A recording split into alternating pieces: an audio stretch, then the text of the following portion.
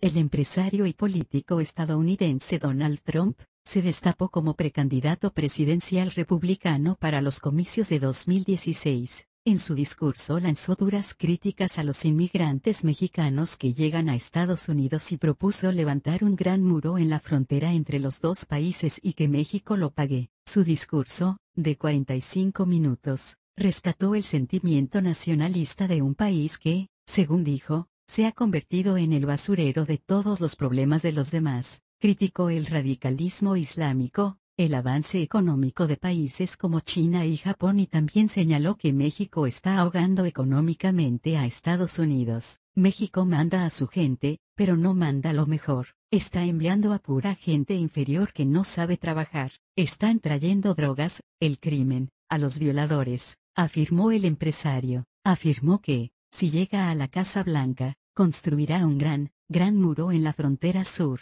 y haré que México lo pague, agregó, y señaló que como empresario inmobiliario, nadie levanta mejores muros que los suyos y los construye muy baratos. México no es nuestro amigo, insistió, y dijo que sus impresiones sobre los inmigrantes se basan en los comentarios que ha recibido en la policía fronteriza. Para Trump no parece haber otra cosa que sus ganancias y sus negocios, como el que intentó en Rosarito, que le costó multas en México y puso al país y a los mexicanos en una lista personal de enemigos e intereses que ahora quiere transferir al país. El multimillonario aseguró que no parará hasta sacar a todos los mexicanos de Estados Unidos, porque según sus palabras, son unos muertos de hambre que solo van a robar a ese grandioso país que es América. Espeto Trump,